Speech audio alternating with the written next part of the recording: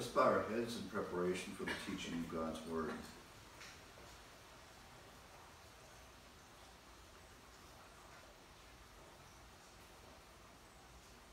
Father, we thank you, Lord, for your blessings today. We uh, thank you for the rain. We know the passage where it says the rain falls on the just and unjust alike, and this is part of your logistical grace for all mankind. We just pray that you might give the believers here traveling mercies as they travel back home. And Father, help us to continue to pursue a relationship with you, Father, taking in your word on a day-by-day basis and appropriating and applying these things through the filling ministry of the Holy Spirit. We pray this afternoon that you might open our eyes, that we might behold wonderful things out of your word. Sanctify us through your truth because your word is truth. We ask these things in Christ's name. Well, this afternoon we're going to go over the parable of the soils. Some say it's parable of the sower, but it's really more about the soil. Uh, and uh, this parable is mentioned in three gospel records.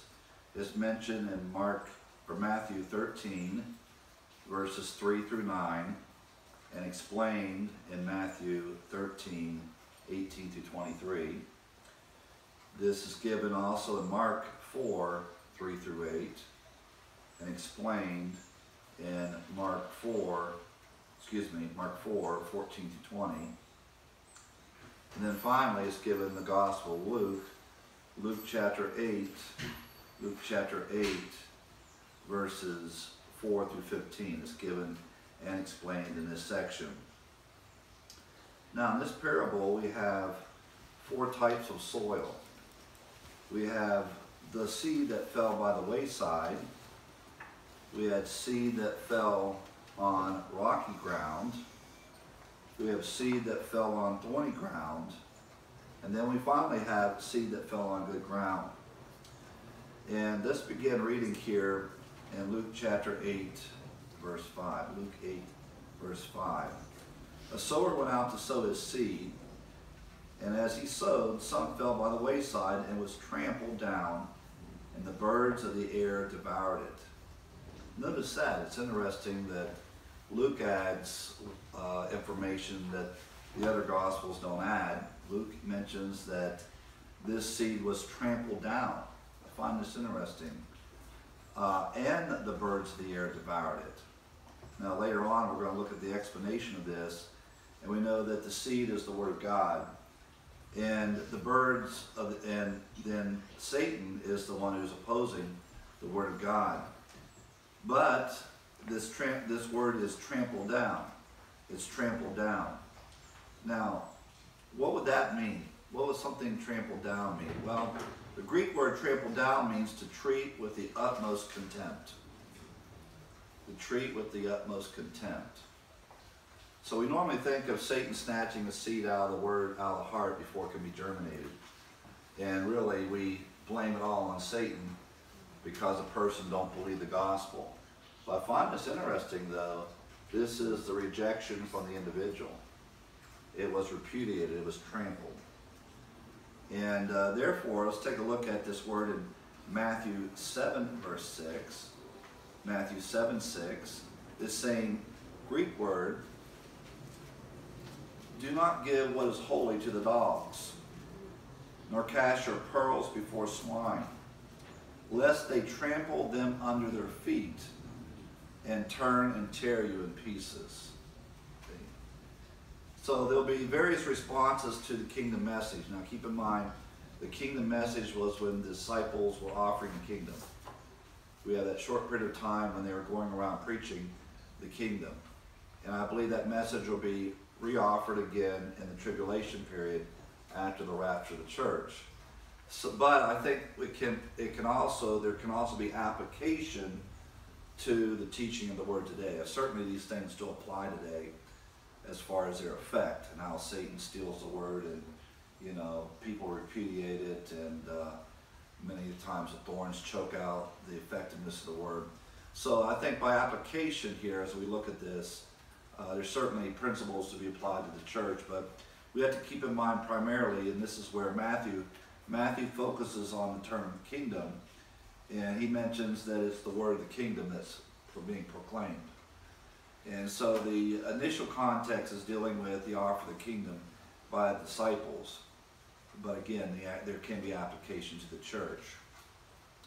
Now, in uh, the word of the kingdom, then, and so really we're dealing with the idea that um, the word of the kingdom was being sown. One question that would arise naturally is why was Jesus' ministry not more fruitful? So the immediate context deals with that. Why was Jesus' ministry not more fruitful? The answer would be that pro productivity is determined by receptivity. And receptivity is a matter of the heart. It's the same seed going out, but different responses.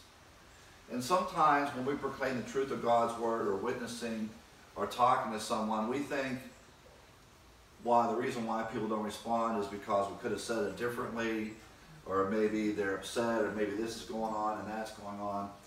And it's the same message. And really what the problem is, the negativity of the hearer. And uh, so we should not blame ourselves uh, when people do not automatically respond to the truth. Uh, there's other questions we need to ask. What about Satan trying to distract the individual from believing? And we'll look at a couple verses on that as well. So there's a spiritual element going on in the background when we're giving truth. And many times we miss that spiritual dynamic when the word goes out. So there's a human dynamic, and then there's a spiritual dynamic. Therefore, both are at play when the word of God goes forth. So the differences then are not found in the word, it's the same seed, but in the preparation of the soil to receive the word. The four soils represent four types of reception people give about preaching the kingdom. And again, that message was offered when Jesus was here uh, to the nation of Israel and will be offered again in the tribulation period. So the word of God in verse Luke 8 5 was trampled down, meaning the individuals treated it with contempt.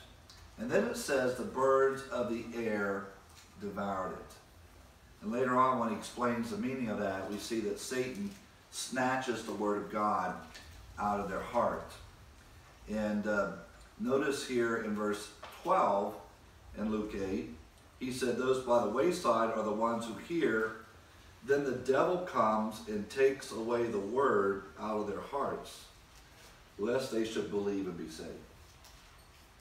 And we're going to look at a couple verses on how there's satanic activity around the teaching of the truth, especially the teaching of the right gospel.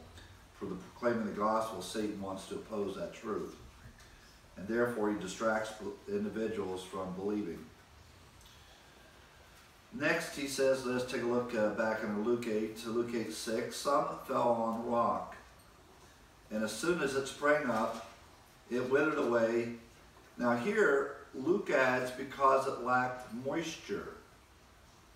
Uh, whereas the other Gospels said it didn't, you know, it was shallow, it didn't have any root. Okay, there's two issues here. The roots weren't deep enough and lacking moisture. So it's interesting. Combined gospel accounts, we have two things going on with the second soil.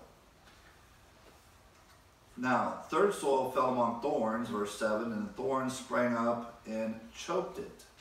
Choked it. Now, thorns and, and the seed grow together, but one takes over the other.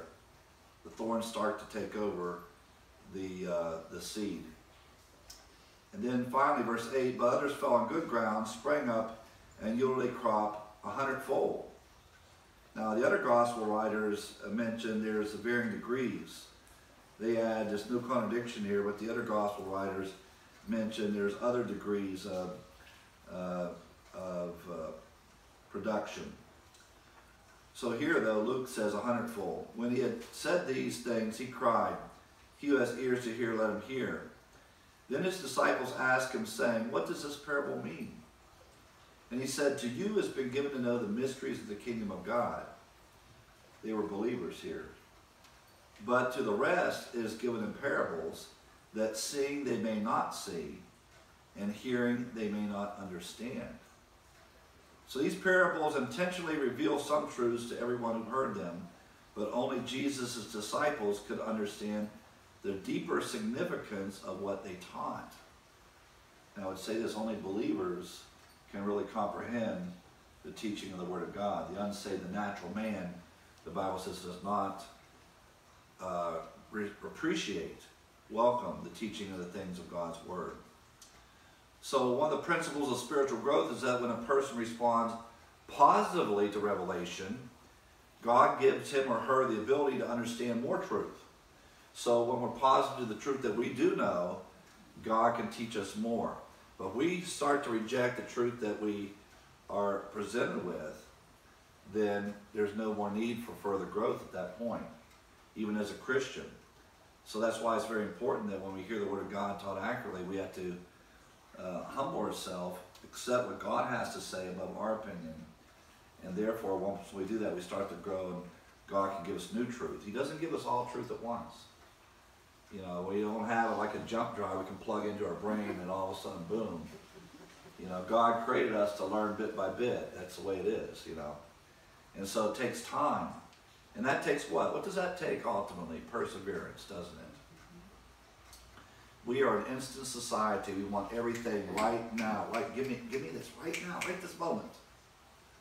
And we get upset, and I'm included in that when we don't get it right away, right? you can think of it our illustration this week. Yeah, ordered pizza and they screwed our order up. So I tried to get a hold of the. I tried to get a hold of the call center. That was shut down. They called and the person said, well, "I said, can't you call the store?" Well, no, no, we can't do that. We can't. It's like, well, why can't I call the store directly? Because it's the call center. I said, if it's a call center, why can't, it's like we went around and around. Ah. So eventually I drove to the store and talked to the manager in person. That's a long story anyway. Did you get the right pizza? I was just gonna ask. that. Okay.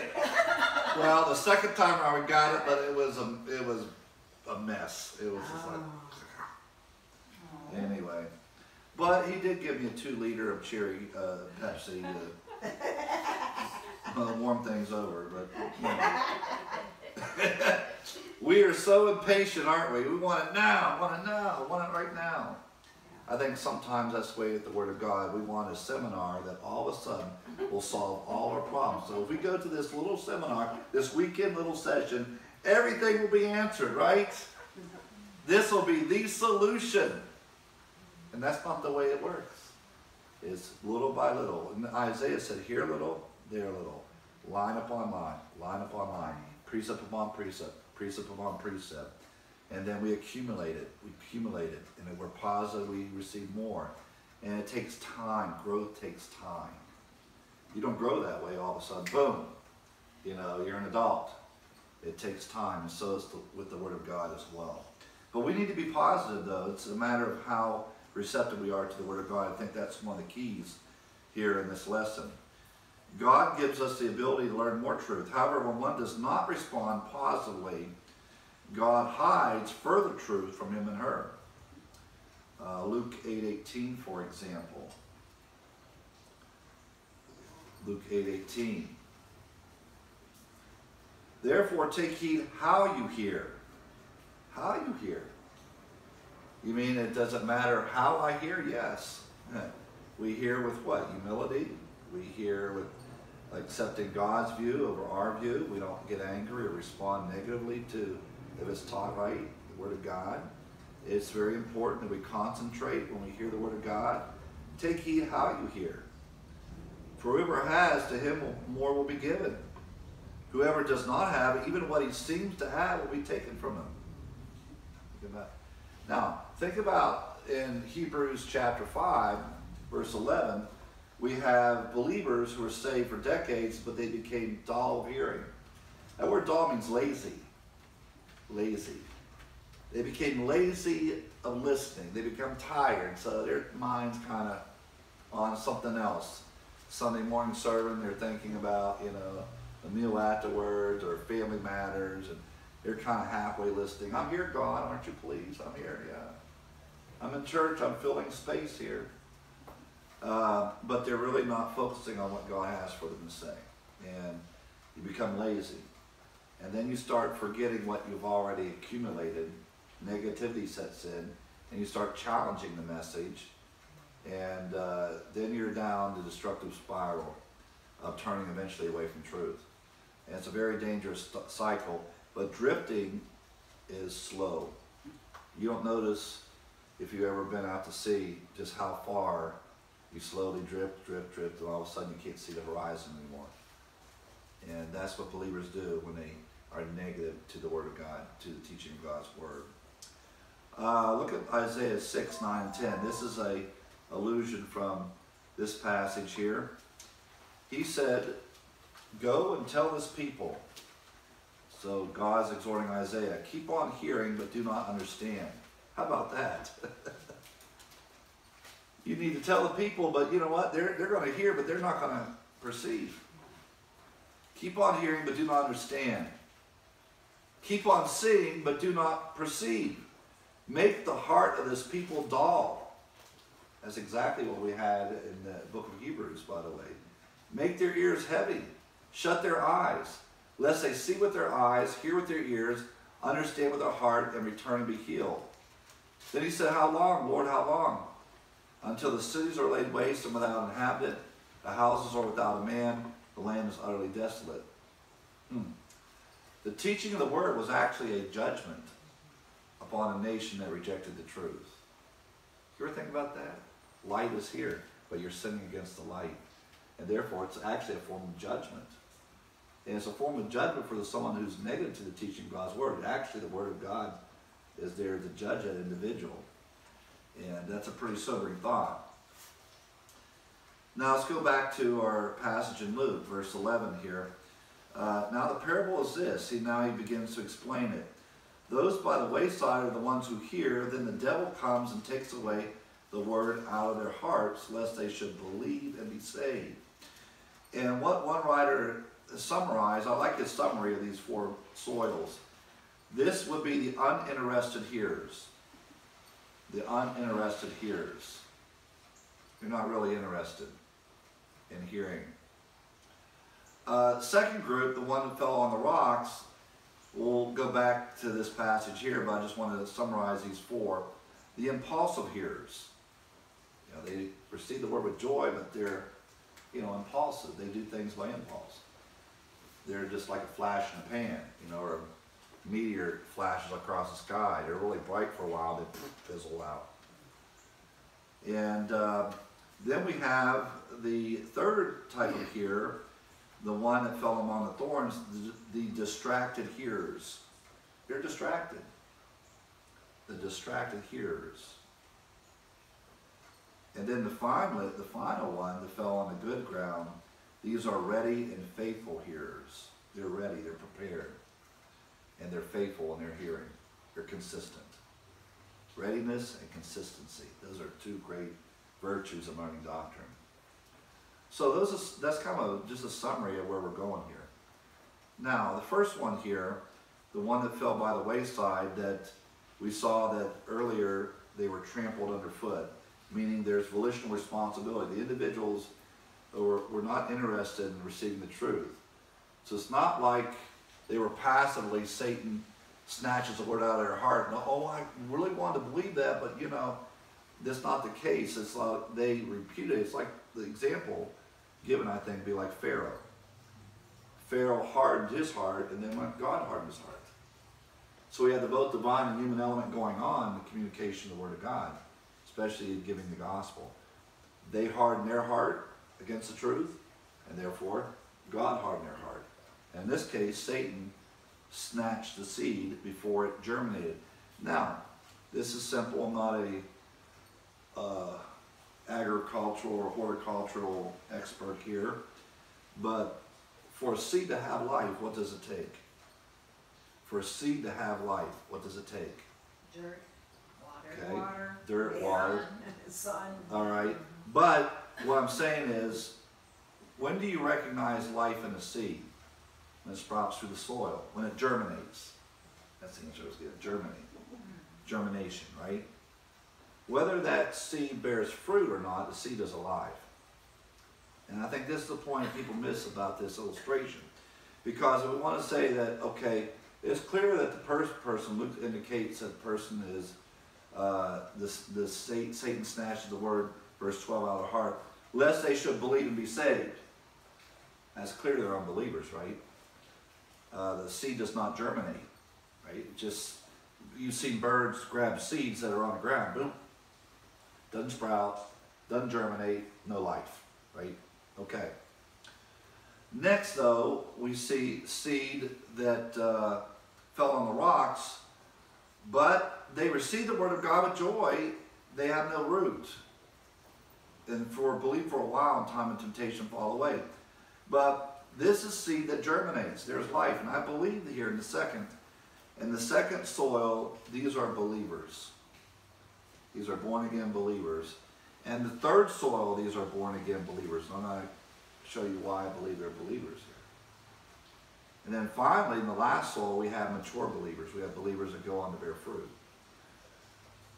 So, and it's interesting in uh, some, most teaching that you hear, people will say, well, these in only believe for a while, therefore that was kind of a head faith instead of a heart faith, and that kind of nonsense. And when the Bible doesn't qualify faith, they, you know, the prior verses they did not believe here, it says they believe. You take a straightforward reading, you know, this is genuine faith. And they say, well, it didn't persevere, therefore it wasn't genuine faith. Now, wait a second. We're going to look at that. We're going to look at some of those scriptures on that.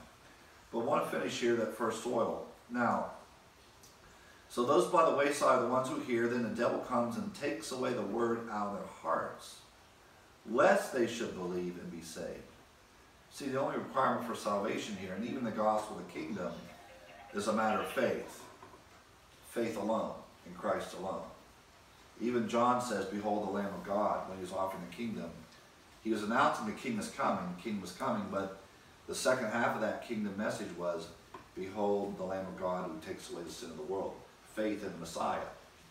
So faith in the, alone in the Messiah. And um, Satan distracts, I think, gospel preaching. Let's look at 2 Corinthians 4 4. 2 Corinthians 4 4.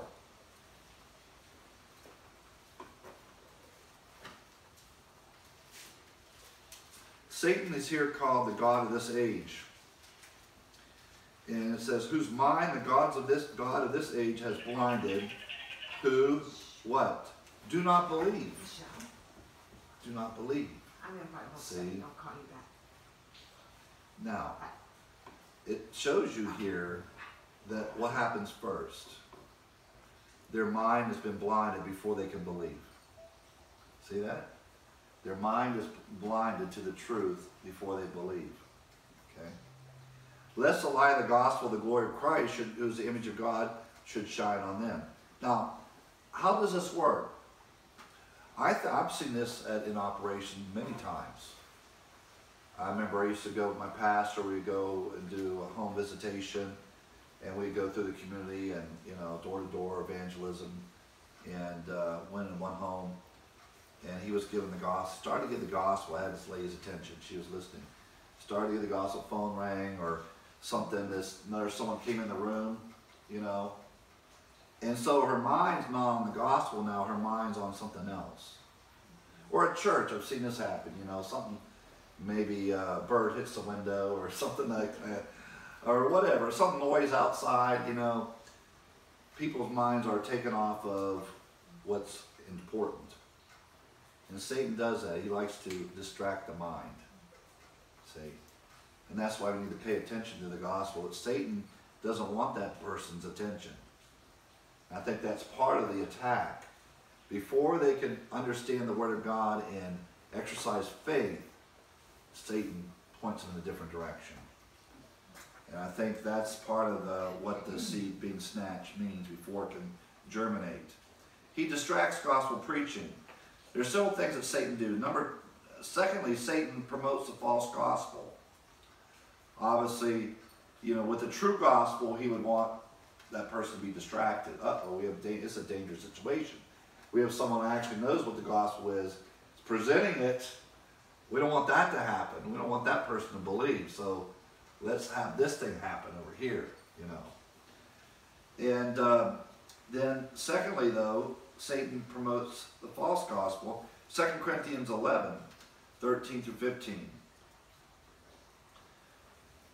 For such are false apostles, deceitful workers, transforming themselves into the apostles of Christ. For no, and no wonder Satan himself transforms himself into an angel of light. Satan was a light bearer, remember, original Lucifer. Therefore, it's no great thing if his ministers, means his spokesman, those who are teaching the truth, or teaching the word, not the truth. No, no great thing if his ministers also transform themselves into ministers of righteousness. Now, what kind of righteousness? We went over this last week. This is self-righteousness, human goodness for salvation. They preach a works gospel. So Satan has proponents of the works gospel, human goodness out there. So he distorts the gospel. And the accurate gospel he distracts. And then, even for believers, I find it interesting that look at Second Corinthians, the same chapter, 2 Corinthians 11, just go up a few verses, verses 3 and 4. He's talking to believers here. Satan also operates against the Word of God. For I fear lest somehow as a serpent deceived Eve by his craftiness, so your minds may be corrupted. Notice the battle's where? In the mind. Your minds may be corrupted from the single-minded devotion. The simplicity means your devotion that is in Christ Jesus. Meaning you're distracted. The single-minded devotion means looking unto Jesus, the author and finisher of faith, right? You're distracted as a Christian from growing in the Lord. And even if one comes and preaches another Jesus, and you're, you're ready to put up with this individual. He's not preaching the Jesus of the Bible. He's preaching the moral Jesus, uh, you know, the social justice Jesus is being preached today. He's not preaching the Jesus of the Bible. Uh, and so Satan can also distract believers from growth in that sense. So he's always attacking God's truth. Keep in mind, Satan is always the uh, opponent, the adversary, the enemy, attacking God's word. Now, back in our text in Luke, so lest they should believe and be saved, lest they should believe and be saved. Believe we have an aorist active participle, aorist tense. And the idea aorist is past action. This is not continual belief. This is a one-time action. Why? This is very important. The aorist tense in this, per, this verse is very important. It shows you it only takes a moment to believe. You don't have to continually believe in order to be saved. And so we get, when we get to the next soil, when they believe for a while, present tense, they're still saved. The aorist said, lest they should do what? Believe. It didn't say present tense. You know, he steals a word lest they continually believe to prove they're saved. No, aorist tense. Believe in a moment. And all it takes is one moment of faith in order to have eternal life. Now, once you exercise faith after you're born again, that's walking by faith. That's living by faith. And I could have faith other than faith in the gospel. I could have faith that God will take care of my needs. God will fulfill this promise in the Word of God. You know, whatever it is. There's many different areas where we apply faith. See? Um, but that's not the same as that one moment directed toward the cross of Christ and believing in Christ for eternal life. That only takes one time. And by the way, when you're born, when you're born physically, no matter what happens afterwards, you're you're a person. you are a person that God made in God's image. Uh, so same with the new birth. We enter into the new birth in a moment in time. And once we have that, we have it forever. So the, lest they should believe and be saved. Now, let's take a look at um, um, the next one, the ones on the rocks. The ones that fall on the rocks are those when they hear, receive the word with joy. Now, some people say, well, these are, this is driven by emotion. I've heard this taught. Oh, these are simply emotional Christians and they're, they're, they're swept up in the emotion emotional moment, like at a revival service. you know how the evangelists try to work work the crowd, so to speak. Oh, work the crowd. Gonna, you know, raise my voice. Gonna march up and down. You know, it's like a cheerleading session. You know, get people worked up here, and then people make an emotional commitment. You know, and really, it's not a commitment that saves you. It's faith in Christ. But I don't think though that's true because this is genuine faith. This is used in the book of Acts. Uh, Acts chapter 2, verse 41. Acts chapter 2, verse 41.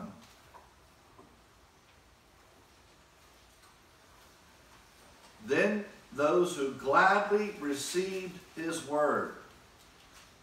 See? They received his word, right? They believed the gospel. They were baptized. And that day was added about 3,000 souls. And what did they do, by the way, verse 44? Now all who believed were together and had all things common. They believed. See?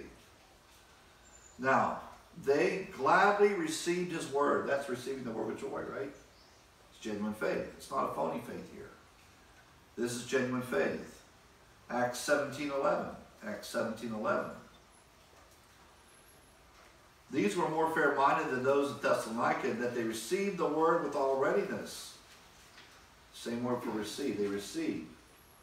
They received the word with readiness. Search the scriptures daily to find whether these things were so. These were the noble, noble Bereans. So the idea of receiving the word with joy is not a phony faith. It's genuine faith. But the problem is there's no root. There's no root. Now, how can we have roots as a believer? Well, we need to be rooted and grounded in the truth. Ephesians 3.17 is written for believers. That Christ may dwell in your hearts through faith. Now you read that saying, doesn't he dwell in all believers? Yes. But we have a particular Greek word here, not just simple residing or, or dwelling in. We had the word to dwell down. It's a more intense Greek word. It means to be at home. I could be here in a room, but I this is not my home. Okay? So it's one thing to be in a room, and it's another thing to this is your home. You're comfortable in your own home, right? So that Christ may dwell in your heart. Every aspect of our life, Christ has control over. The word literally means dwell down. He may dwell down in your hearts through faith as you walk by faith as a believer. Then that you being rooted and grounded in love may be able to comprehend the love of Christ, the length, width, breadth, uh, depth, and height of Christ, that you might be filled with all the fullness of God. This is a deeper experience for the believer. That we might be rooted and grounded in the Word of God, be firmly planted. Remember the, the, the uh, Psalm chapter 1 about the tree by the living waters, it's grounded, you know. It takes time for roots to develop. And so as we continue in the Word of God, we can be grounded in the truth. So these people, yeah, they respond by faith to the gospel, but they're not they're not there consistently to grow as a Christian. They're like new babes. But they're new babes, though, they just, you know, lose interest. And I've seen examples of this as a pastor over, you know, over 20 years. People that really excited, started well, but then fade away. Drift away from the church, drift away from the Lord. They're still born again. They're still saved by God's grace, but they don't grow. And what also distracts them it says here, in time of temptation, they fall away. They don't realize that, yes, we have the joy of knowing we have eternal life. Now, that's tremendous. But do you know what? Your faith will be tested. And uh, that's where the challenge comes in. How will we respond to the Lord when our faith is put to the test? When things are not going as well at work, when people make fun of you as a new believer, uh, make fun of your faith, what happens when persecution arises? What happens when you lose your job as a Christian? Uh, what happens when you really have to believe in the Lord? Uh, faith must be tested. And this is for a believer because James 1 indicates a process of testing, right? The book of James, I think, is parallel to many of these things. When I taught through the book of James, I drew a parallel between James and the parable of the sower because I find a lot of similar things mentioned. My brethren, he's addressing believers, James 1 2. Count it all joy when you fall into various trials. Those various, multiple, multiple tests. Knowing that the testing of your faith produces what? Patience or endurance. And that's the key. If we respond positively to the test, we build up endurance, just like a runner who can run further. You know, if he quits within 100 yards, he can't run 200. He quits at 200, he can't run 300. So we have to have multiple tests in our life. We pass that one good. I'm going to send you one more, a little more difficult. All right, pass that, great. And so we're mature now. We're able to handle some of the details of life. We don't fall apart like other people do. Our faith becomes strong. And uh, this builds up what? Endurance. We'll see that word here in Luke. But let endurance have its complete work. Meaning let the let the let the trial continue for this, this purpose to mature you. I find it interesting. Every time we run into a difficult situation, we first thing we pray, Lord, take it away. Maybe God doesn't want to take it away. Maybe we should pray, Your will be done. If you're teaching me something through this, help me to learn the lessons through this trial. Not necessarily, take it away, Lord. Even Paul said he requested three times the thorn in the flesh, remove it. And the Lord says, My grace is enough. I don't want to remove that because I have a purpose. You saw the third heaven. you become very arrogant and proud, saying, Look with all the things I know. You know, even Paul wrote in 1 Corinthians 13 about a person who has knowledge without love, you know.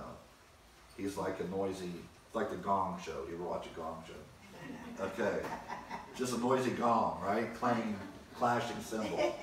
Like the gong show. Um, so we need we need to endure testing. Let patience have its perfect work that you might be what? Mature. The Word perfect doesn't mean without sin. I think that's a mistake. Some people read the word perfect thing without sin. That'll never happen until the Lord takes you home.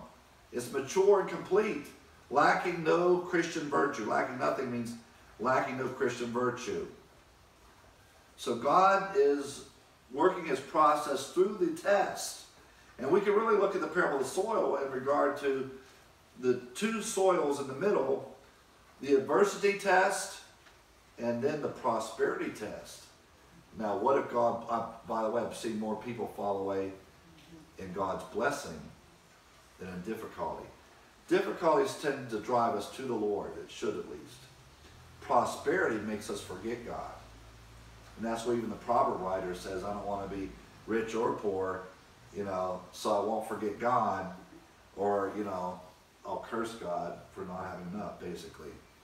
So he's saying here, now the adversity test here is what we're dealing with right now. Difficulties in life, testings and trials. Um, Matthew 13, 21 adds tribulation, by the way. When we look at Matthew 13's account, the Gospel of Matthew adds tribulation and persecution. So Matthew's Gospel adds a couple more. Matthew 13, 21.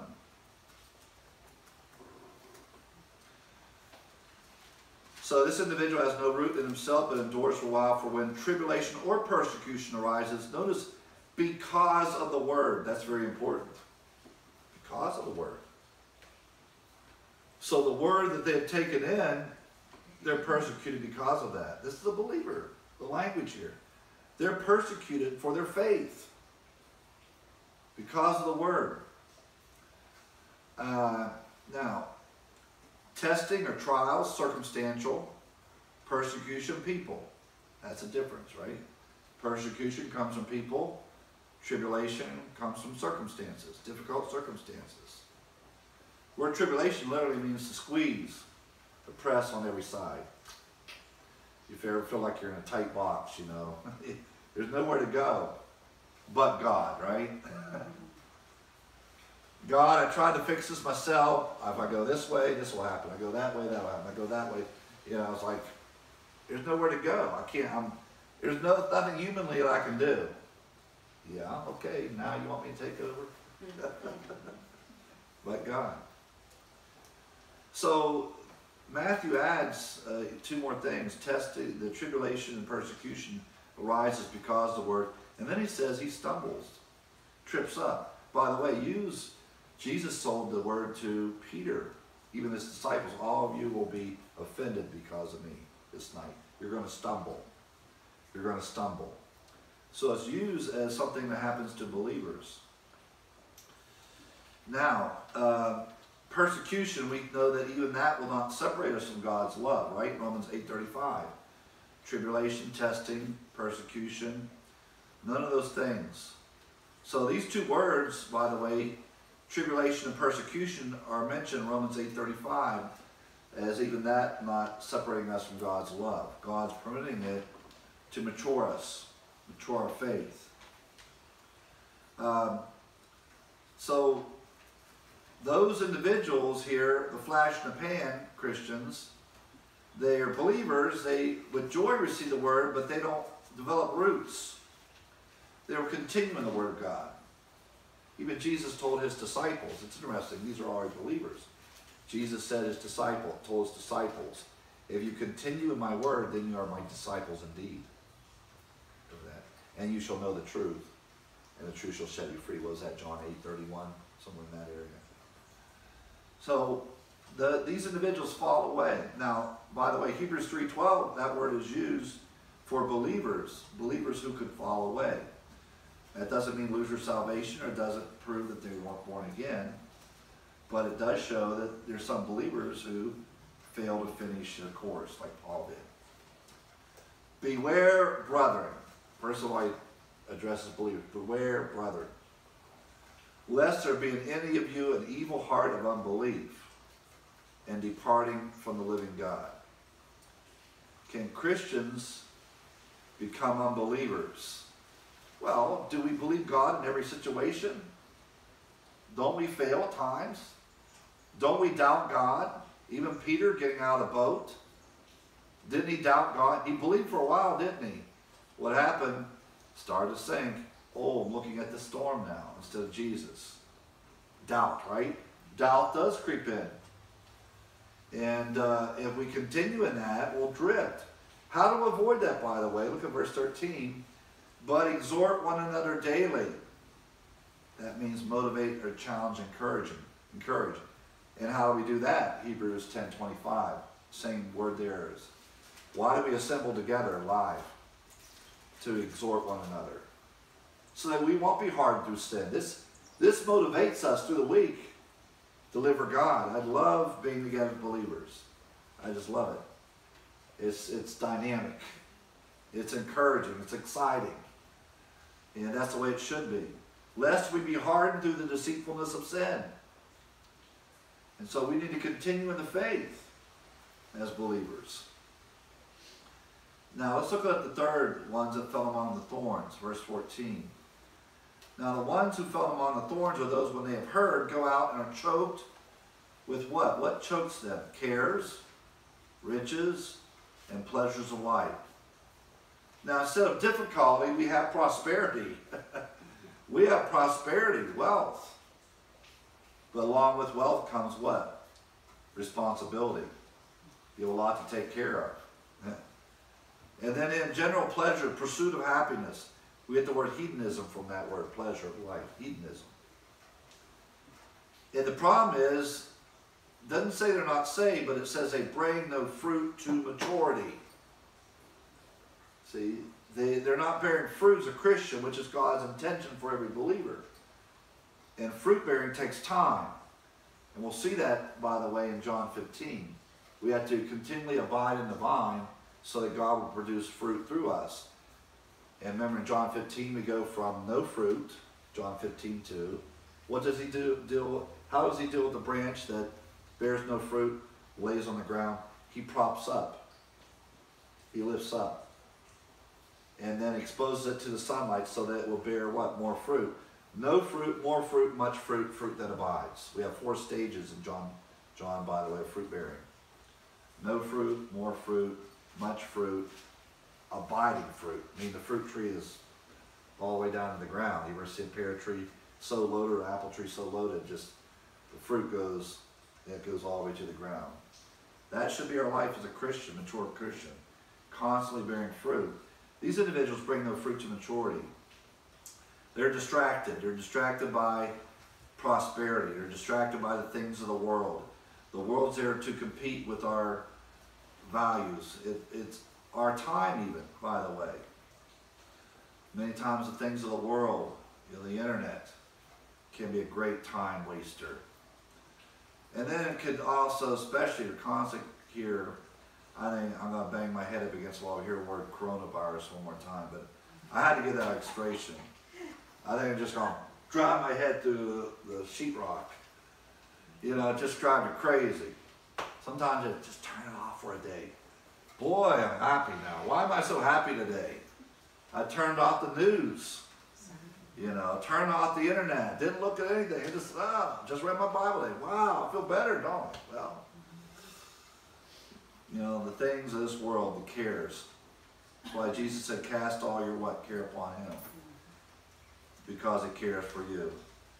Uh, 1 Peter 5, 7. 1 Peter chapter 5, verse 7.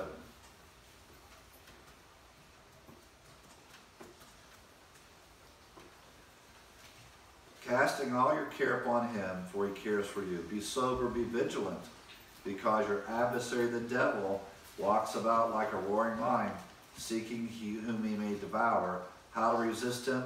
Steadfast in the faith. Faith is the word of God. But it's steadfast. You're consistent. So the cares of this world, the deceitfulness of riches, remember even believers can be deceived by wealth. 1 Timothy 5, 7. 1 Timothy 5, 7 through 10.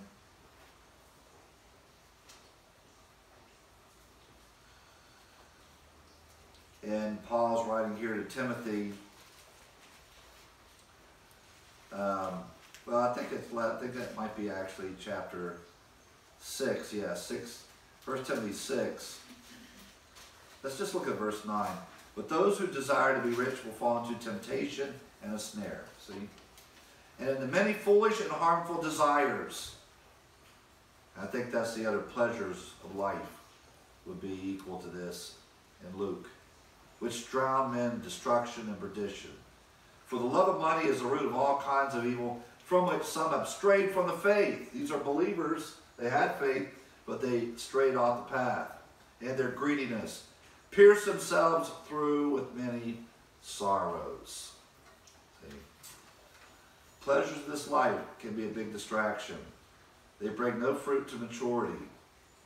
Instead of abiding in the vine, they're pursuing the wealth of the world. Let's deal with the last one here. Verse 15, back in our text. But the ones that fell on the good ground are those who, having heard the word with a noble and good heart, knows how they heard. They're in fellowship with God. Very important. They're in fellowship with God. You know, we need to have a bent toward obedience before we hear the word of God. You ever think about that? So it's not like I'm going to, uh, you know, I think we get the passive idea. I'm going to hear first and decide whether or not I like this. decide whether or not I'm going to obey. Uh, you know, just like a teenager. Well, I want, I got, can you do this? Well, let me hear it first. just, just say yes or no, okay? I'm not going to tell you what it is. I want you to be positive first. You may like it. I may surprise you. Do you want to go to Dairy Queen? I don't, instead of saying you need to clean your room. Just, you know, listen. You know. But uh, I think sometimes we take the passive attitude as, I'm going to listen to it first and then kind of mull it over, figure out what I want to do. Well, I think we need to be positive in advance, having a noble heart and good heart. A heart bent toward obedience before we hear what God wants us to do. And then they what? Keep it. Ne- Next, they keep it. They keep the word of God. They continue in it. They retain it. They probably, you know, repeat it and they memorize it. They uh, go over it in their mind. They study it. I think all that's keeping the word of God. And uh, then they bear fruit with what? Patience. That's their same word there, by the way, that we saw in James. We had to continue in the word. You know, trials produces what? Endurance. So this is a believer who endures. He's a committed and faithful listener. So, I'll give you the verses. I already gave you the uh, illustration, John, or the uh, fruit bearing. John 15, 2, we have no fruit. We have John 15, 5, the next step. And then fruit that remains is John 15, 16. And then look at John 15, 11. Let's take a look at John 15, 11. He wants us to abide in him, remain in him, that our joy might be what? Full. Not just so we'll have temporal joy, but that we'll have, we'll produce joy. You know, the fruit of the Spirit's what? Joy. You, you ever, I've noticed if I ever watch, observe a believer over the long haul. Now, we can all get upset and, you know, we experience loss and things like that. We're not all giddy all the time. But a Christian who never has any joy, there's something wrong. Mm-hmm. There's something there that's wrong. There's sin in their life somewhere they haven't dealt with. There's bitterness, maybe. There's something deeper down that needs to be dealt with. And because God came to give us joy and fullness of joy. And when we're obedient to God doing His will, it's a joyful thing. So, um, this last soil, we need to hear the Word of God, we combine, when, when I studied this, combining all four gospel, all three gospel accounts, hearing God's Word, receiving God's Word, keeping God's Word, and understanding God's Word. Those four things is in the last soil. See? So we need to continue in the Word of God. Not just make it uh, once in a while. Go to church on Christmas and uh, Easter, right? See everyone there. Christmas and Easter. Where are you the rest of the year? I was bold enough to ask. But, uh, you know, we got to continue to be that last soil. We don't want to be the flash in the pan Christian. We don't want to be the Christian who falls apart when difficult things come. We want to be the believer that continues to abide in His truth, and God can produce fruit through us. Let's bow our heads. Lord, we thank you so much for this parable, and we pray, Lord, as believers, we might not be individuals whose seed fell among rocky soil.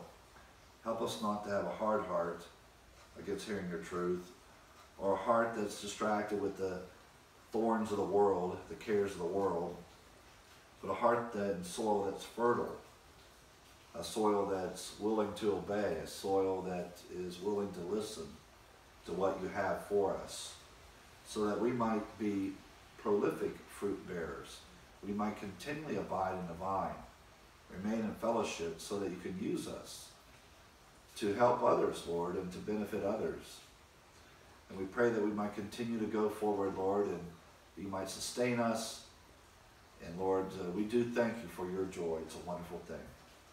Help us to continue to abide in it, in your peace and love. In Christ's name we pray. Amen.